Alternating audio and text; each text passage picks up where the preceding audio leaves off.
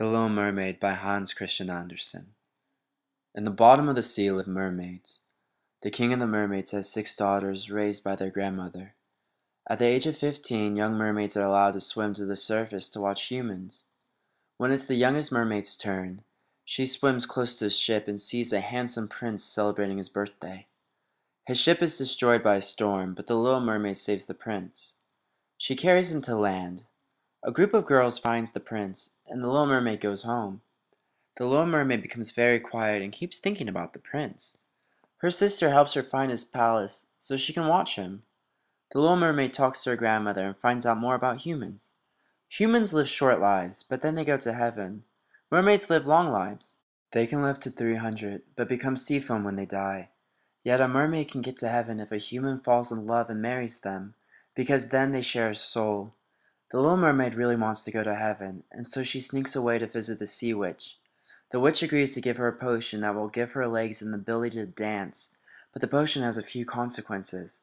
Every time she walks, it will feel like she's walking on daggers, and if she fails to marry the prince, she will die. The price for the potion is the little mermaid's tongue. She agrees, and the witch cuts out her tongue. She swims to the shore and takes the potion. She passes out from the pain. The prince finds her, and because she reminds him of the girl that saved him, he allows her to move into his castle. They become very close friends and very fond of each other, but he tells her that he wants to marry the girl who saved him. Without her tongue, she can't tell him that she is the one that saved him. But she can dance for him, even though it hurts, she does it because it pleases him. Yet he is to marry a princess from a neighboring kingdom.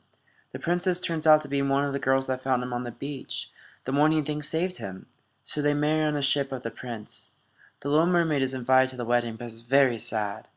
Her sisters visit her in secret and they are bald now. They traded their beautiful hair to the sea witch to save her. They give her a dagger. All she has to do is kill the prince and she'll become a mermaid again. The prince and his bride are sleeping in a tent on the deck of the ship.